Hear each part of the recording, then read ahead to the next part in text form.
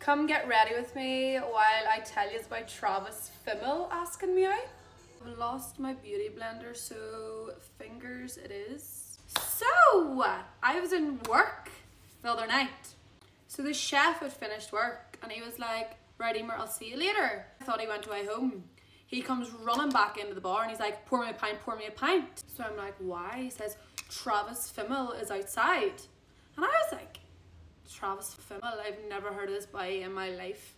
So these two guys walk in anyway. Chef's gone mad, like, huge fan apparently. Everyone sits down anyway. And that was okay. I didn't have time to go look up who Travis Fimmel was. So they all sit down anyway. And this by Travis comes up to the bar to order a drink. And to be fair the man, like he he's stunning. Like he had these like ocean blue eyes, this like longish hair, beard, and he had like a scar on his face.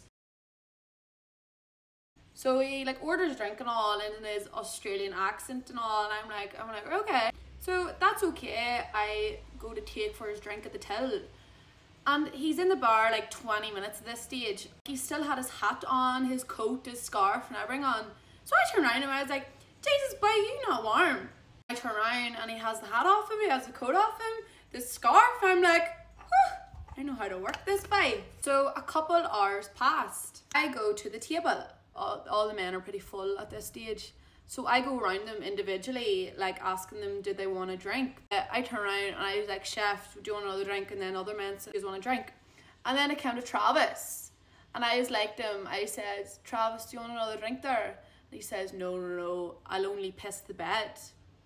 And I was like, and he was like, oh, don't worry, I won't get any on you. I was like, you can get anything you want on me, Travis.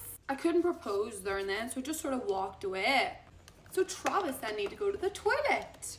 Like I walked away and I was sort of like, didn't I didn't say anything after he said that. So he turned around to me and he was like, "Here, sorry if I sounded a wee bit uh, out of order. Then I, I didn't I didn't mean it." And I was like, "Oh, don't worry, no, like no need to apologize and all." And um, Travis was like, "What are you What are you doing after work?" And I was like, um, no plans. And he was like, we're going to this place, sure come meet up with us and I'll get you a drink.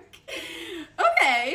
This was like an hour later and it was our closing time and the boys were no foot state. Like the chef was ordering them drinks all night because he's such a liquor. There was no chance they were even making it to the bar.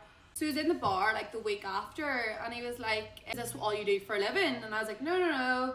I'm in the gym as well, blah, blah, blah. I was like, oh, what is it you do?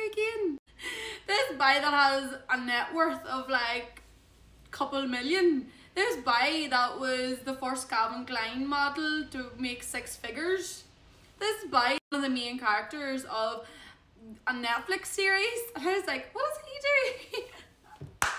so he drinks in the bar all the time, the bar that I work at. To be continued.